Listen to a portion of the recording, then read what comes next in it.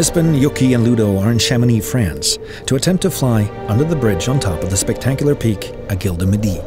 It has never been done before. This is absolutely ridiculous. I'm gonna watch some crazy people do some crazy shit. It's a very calculated risk. What they're doing is definitely pushing the boundaries of the sport. It's gonna be awesome. I don't think it's stupid at all. Yeah. There's something about flying under the bridge. Crazy things uh, under the bridge there.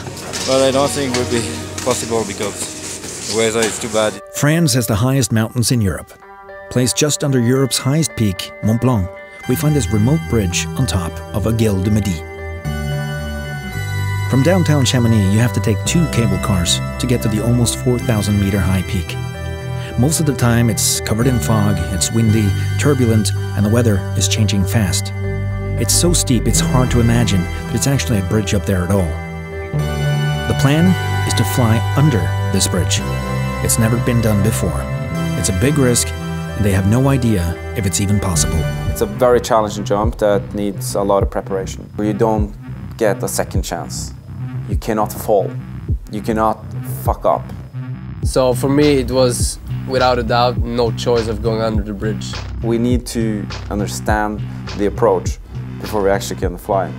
So it's the kind of place where uh, we need first we need to scope it at the top. And 10 meters wide, yeah. like here.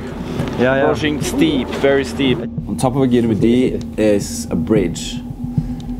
And uh, it's about 20 meters under the bridge. It's about 10, 15 meters wide. And I've had this dream for five years, and that is to fly under that bridge with my wingsuit and just follow the couloir down onto the Glacier Rond, down to Chamonix. It would look freaking rad. You have this, this cable going down here, um, crossing the line that you need to fly to get, um, to get under the bridge, but over the couloir. And it's true that it blocks half the way, so it cuts uh, our window in half. The cable you see is, uh, is a mind fuck more than endangering your flying. If you're actually in danger of hitting the cable, you're way too low. You're actually so low that you will hit snow and rocks at the same time. This is, this is a gamble, total gamble when it comes to whether it's possible or not. Because it's 3,800 meters and it's always wind up there. I mean, uh, I've been up there 50, 60, 70 times, I don't know, and uh, maybe one out of 10 times you have calm wind. Yeah, yeah. The rest of the times it's freaking strong. I'm not 100%. I'm not sure if this is going to work. The entrance, the altitude, seriously scary. Seriously scary. I get sick to my stomach just standing on this bridge. Why? because it's so sketchy. Oh, come on. It's not sketchy to stand It's not there. sketchy. It has to be well prepared. It feels sketchy. about it. I, think we just have to jump out of the heli and make some kind of free fall decision. Basically. That's what we have to do.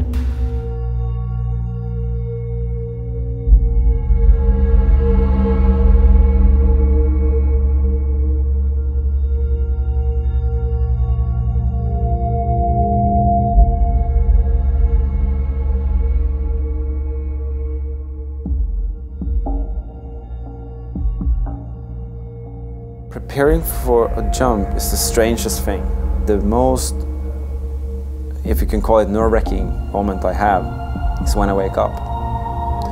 And I think it is because that's the, the point of the day, the time of the day where I have the most uncertainty.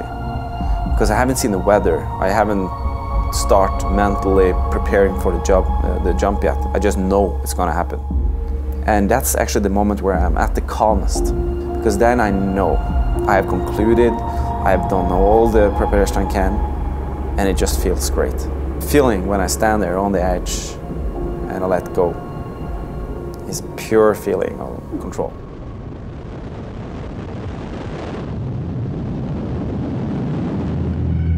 After several days of waiting, the weather has finally cleared up, and the guys will try another attempt. You guys focused? Yeah?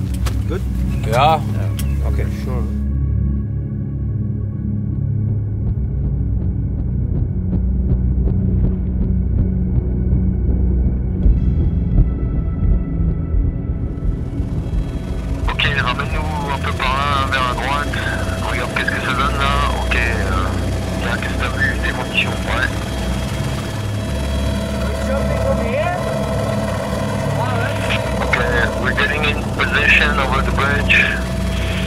Espen, still focused? Alright, let's go. How's do you avoid?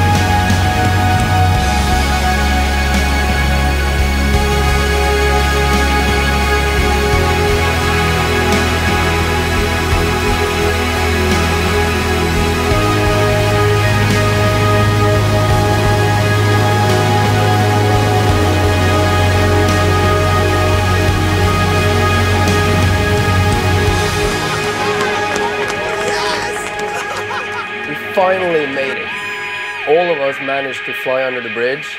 As soon as I flew through uh, or under that bridge, it was just this huge euphoria of like pure joy, and the stoke was like, yes, we made it. When I saw the bridge, uh, the hull, and I flew towards it, I, I just, inside of me, I was like, yes, yes, it's working. No problem. And we flew through it. Awesome feeling. It has been a blast, and uh, Chamonix always delivers good times with good friends. Yes, man!